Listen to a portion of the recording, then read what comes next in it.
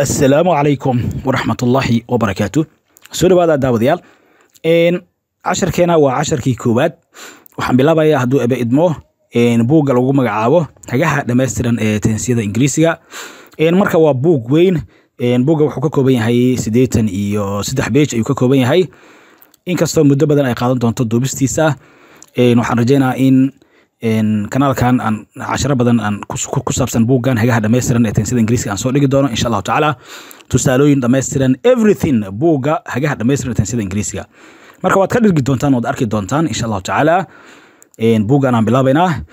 Casharka koowaad ayaan hadda marka bilaabaya hadduu ilaahay ka raali noqdo insha allahu tacaala waa buug runtii aad ka dhirgi doontid aad ku raaxaysan doontid aad si fiican ugu fahmi doontid labada laba iyo tobanka tensis ee luqadda ingiriisiga oo fahfahsan oo dhammaystiran insha allahu tacaala.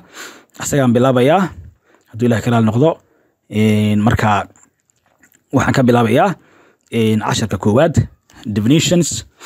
Okay maxaa la yidhahdaa? What are tenses in english grammar? Intan marka waa hordhac waa introduction.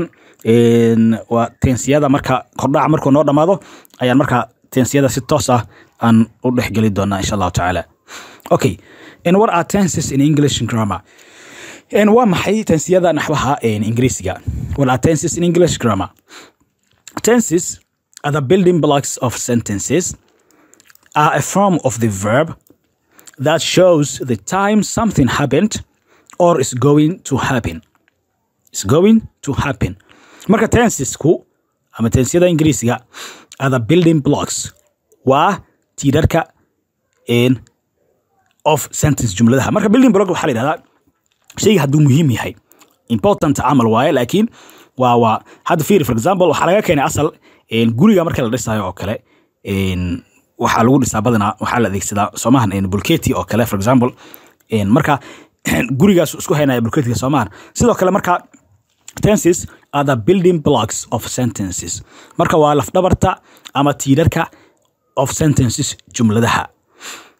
Waxa isku haya macnaha jumladahaas waxa isku haya waa tenseska. Marka haddii tense la waayo dee wax lagu hadlayo ma leh. Waxaan aan ku hadlayno luqadaha oo dhan ingilishka keliya maahan. Waxaan aan ku hadlayno oo dhan marka waxay ku salaysan yihiin tense ay ku salaysan yihiin waxaan rajanaya inaad fahamtay.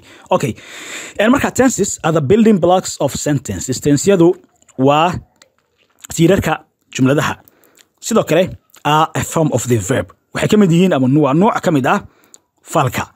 That shows ama that shows kaasoo muujinaya ama tusinaya the time something happened. Waktiga ay wax dhaceen.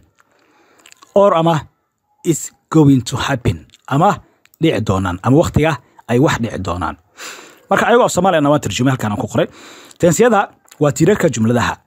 Waana nuuc ka mid ah falka kaas oo muujinaya ama tusinaya waktiga ay wax dhaceen ama waktiga ay wax dhici doonaan.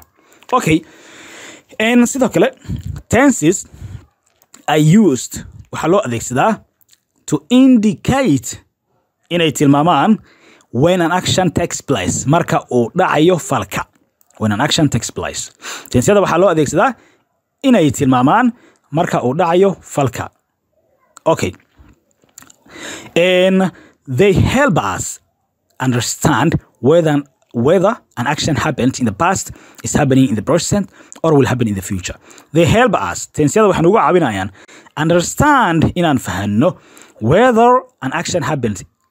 Haddii falka uu dhacay in the past xilli hore ama waqti la soo dhaafay is happening in the present ama hadda uu dhacayo or will happen in the future amaba uu dhici doono futureka ama mustaqbalka soo socda. Okay waa kan aan kuu fasiray.